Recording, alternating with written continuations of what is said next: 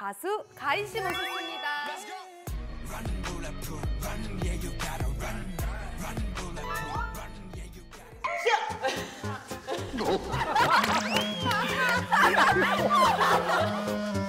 제가 지금 떨리는 게 아, 그 가인 씨 때문에 떨리는 거예요.